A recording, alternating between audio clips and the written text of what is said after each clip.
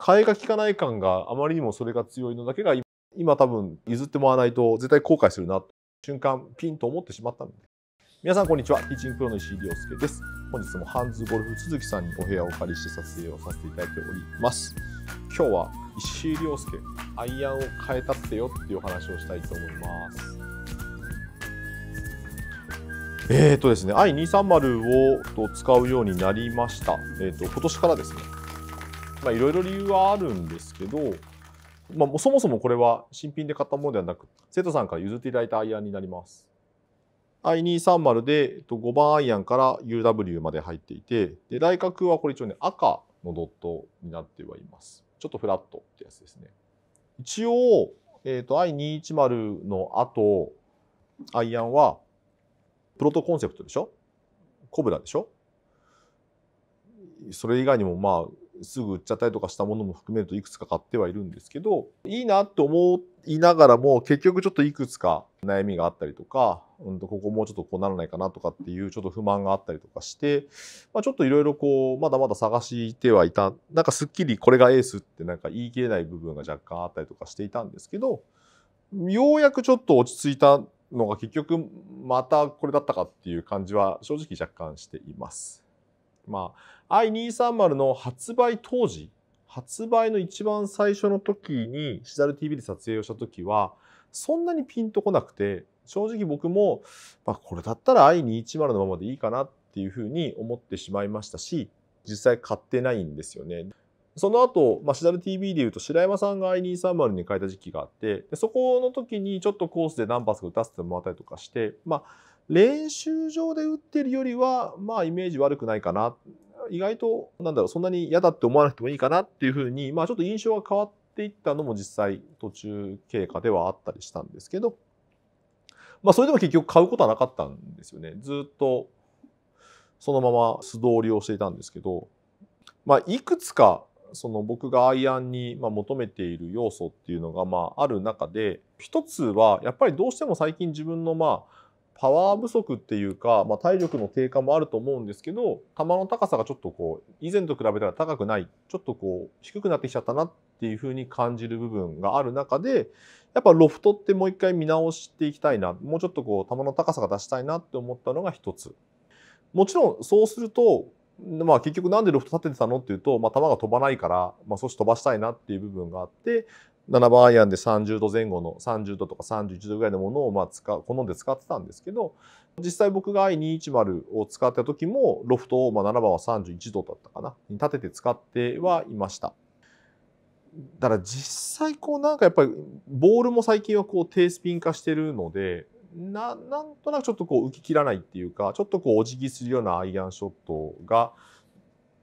まあ、自分でも気になってるというかでそれでシャフトを変えたりとかいろんなことやってたんですけど、まあ、改めてこのまあ i230 はロフトは一切立ててませんあの市販のままなので7番で33度だと思うんですけどこれはね本当偶然というかたまたまなのでちょっと参考になるのかどうかわかんないんですが生徒さんがアイアンを買い替えますという話になった時に前使ってたのがこれだったんですって。で、新しいモデルに、タイトリストのモデルだったかな？150だったか T100 だったかに買い替えるよっていう時に、セットとして持ってきていただいてて、まあちょっとアイアン、トラックマンで測って距離とか測りたいんだ。その時はこう計測をして、無事に新しく買ったそのタイトリストの方が自分は結果がいいから、そっちを使うってなったんですよね。当然、このクラブの行き先が気になったわけですよ。これってどうするんですか？っって聞いたら、まあ、それしばらく使わないっていう話になったので、じゃあちょっと貸してもらえませんかねっていうふうにお借りしたのが、まあ、この辺の出会いなんですけど、で、お借りをして実際コースに持っていきました。なんだったらその方と一緒にラウンド行きました。でね、良かったんですよね。まあ、球の高さ出るでしょ ?i210 の、まあ、ロフトを立てていたものと比較してですけど、高さは、まあ、全然 i230 の方が出る。まあ、210の出るんで、そこは違和感ないんだとしても、まあ、負けないぐらい高さが出る。当然、ロフトは寝てるからですよね。だけど、打ってる距離は210とほとんど変わらない距離をずっと打ててて、ロフトが寝てるにもかかわらず、距離変わらないぞと。